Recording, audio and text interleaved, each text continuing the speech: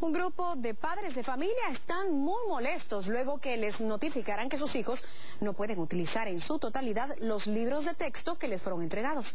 Este caso ha creado toda una confusión. Conozcamos más de la historia.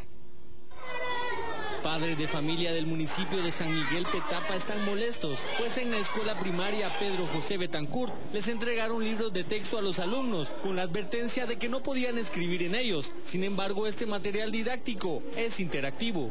Se lo dieron y dijeron que no, no podían mancharlos.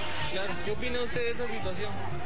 Bueno, que, que no, no está bien, va, porque a hacer ellos, va, que los tienen, supuestamente me imagino que los tienen que volver a devolver. Les dieron tres libros, pero ellos no lo pueden manchar, no que tenían otro cuaderno para poner las respuestas ahí. La supervisora de educación desmintió lo anterior y aseguró que los alumnos sí pueden utilizar los textos de forma adecuada.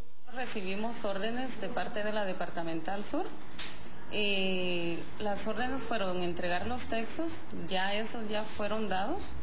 Los directores ya lo entregaron a, a los profesores y niños pero sí está autorizado que ellos lo utilicen. Lo confuso en este caso es que la directora del establecimiento indica que por orden de la supervisión no se pueden escribir en los libros, lo contrario a lo que dijo la misma supervisora. A la par de un cuaderno.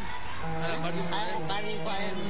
Ah, o sea, eso quiere decir que no se pueden manchar, ¿verdad? Manchar no. Evidentemente en este caso ambas autoridades se contradicen. Lo cierto es que los niños resultan ser los más afectados, porque según la denuncia de sus padres, solo tienen los libros prestados. Alfredo Mendoza, Azteca Noticias.